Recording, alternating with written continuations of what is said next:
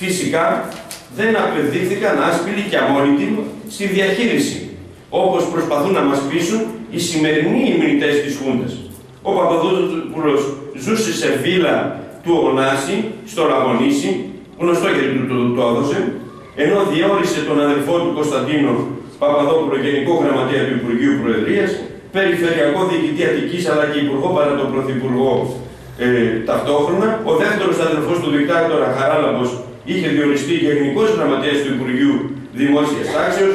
Ο Πατακός με το μυστρί του ανέθεσε στον γαμπρό του Ανδρέα Μιντάση διάφορες μελέτες και τεχνικά έργα στο Δήμο Αθηναίων. Ο κατάλογος είναι τεράστιος σε αυτά τα ζητήματα, μένω σε δύο-τρία.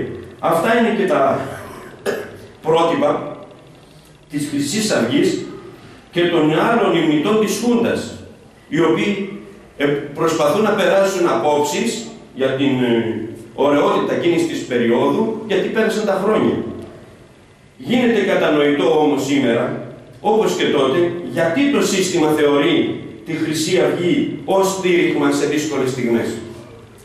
Η, η Χρυσή Αυγή, όπως και η Χούντα, είναι το αποκούπι του κεφαλαίου για να ξεπερνάει τις κρίσεις Είναι επιλογή του, γι' αυτό και βλέπουμε πούμε, και τους κρατούν και τους στηρίζουν με όλα τα μέσα. Η Χρυσή Αυγή δεν είναι ένα κόμμα αντισυστημικό. Είναι ένα κόμμα συστηματικό. Το πιο συστηματικό κόμμα, το πιο μνημονιακό, θέλει στους καιρούς τους δύσκολους να βάλει σε γύψο τα δικαιώματα των εργαζομένων, να μην κουνιέται φύλλο για να δουλεύει το κεφάλαιο όπως θέλει και να ξεπεράσει την κρίση του.